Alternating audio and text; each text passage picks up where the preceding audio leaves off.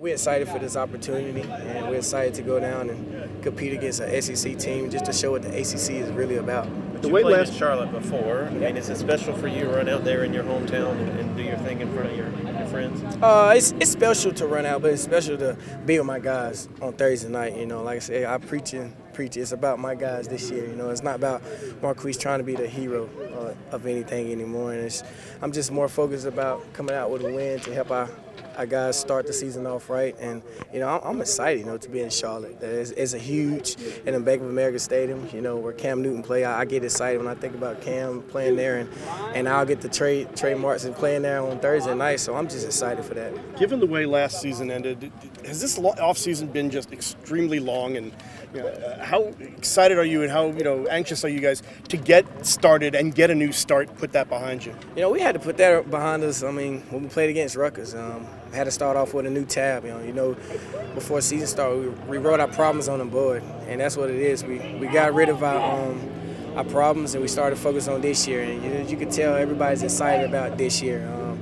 the positive energy we bring on the field, how everybody's excited just to get on the field and compete against one another. And we didn't have that in the years, and we're excited just to have fun and come out here and be brothers. And this, this is a very different team, and I love where we at. And the coaching staff is very positive. You know, they we feed off them, they feed off us, and it's just been a great, great training camp and a great um, all season for us this year.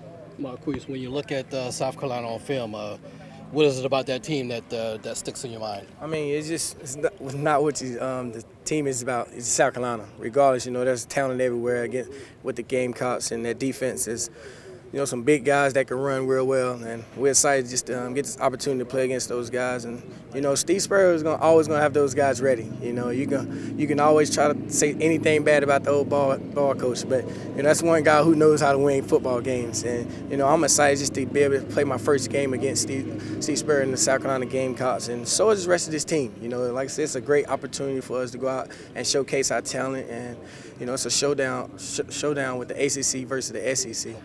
Yeah, uh, how's, how's excited about that? I mean, you know, going against you're not going against the sisters of the right. poor here. Yeah, I mean, it's like I said, it's a big game, you know, and it, and South Carolina is, is not a team you need to come out and just play some little random football. You got to come out, execute on execute on both sides of the football, even on special teams. And you know those guys have traditions of winning the SEC championships and big time games with Steve Spurrier, and I'm excited. You know, and we're going to keep talking about how excited we is for this opportunity, but we just got to come out and show it on Thursday. You know, it's it's just about going out and executing and playing smart, fast, and physical. Coach Chizik and his staff have you know really really brought us back up and, and you know. Um, instilled that confidence in us to, to be successful. What was that like for you entering that first game as a starter, linebacker, you know, going against South Carolina, going back two years ago? Yeah, I mean, it was, it was, I was a little nervous at first, but, you know, I had, I had a bunch of older guys around me supporting me, and again, that's kind of my job now. Um, so I'm the older guy, and I got to help the younger guys around me, you know, it's just, just football. Um, you know, so that's, that's going to be my job. It's kind of funny how my role is reversed in two years, so some experience on that South Carolina offense. How do you feel like that kind of helps you guys as you kind of working to build this defense, you know, from scratch? Yeah, uh, so this will be the quarterback's first start, um, big time game. Um, we're, you know, we're looking to get after him. Um, anytime you got a young quarterback, you want to make him throw into tight windows and make plays, um, make him beat you. So um, we're gonna we're gonna get after him with blitz schemes and things like that. But you know, it really boils down to how we execute, not so much what they do, but what we do. Have you, have you looked at any film from like when Gene was at Auburn or Texas as a defensive coordinator? Yeah, definitely. Uh, we've looked as far back as 05 when he was at Texas when right. they won the national championship. Yeah. Very similar in terms of what he's wanting you guys to do. Definitely. Uh, he even said some of the calls are the exact same. You know, he showed us clips all throughout training camp of um, Texas versus Ohio State 2005, Texas versus USC. You know, so we're, we're running very similar stuff to what they do. Does that help confidence knowing that, hey, this guy won a national championship running this exact same scheme? Oh, definitely, yeah. Um, his pedigree stands for itself. Um, and then the defense, he obviously shows his clips, but, you know, he can, he can give us all the scheme he, we want, he wants and the best scheme in the world, but it comes down to players making plays. You know, coaches aren't out there doing anything. It's the, it's the guys in the field that have to execute and make the plays. So he can get us in the position to make plays, but it's us that have to execute. Looking back at that 2013 game in South Carolina, defense played pretty well outside mm-hmm. of I think four plays. Mm-hmm. Uh, can you take anything from that? Was Not that kind really. of an irritating loss because of that?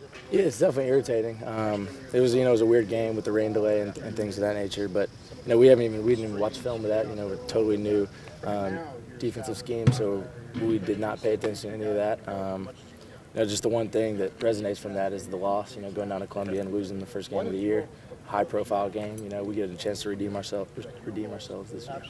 When you look at the film of their offense, what kind of sticks out as something that you guys really got to you know take care of?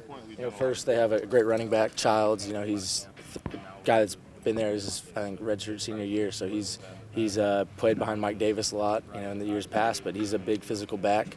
Um, Cooper, number 11, one of the most dynamic athletes in the country. So we got to do a good job containing those two guys.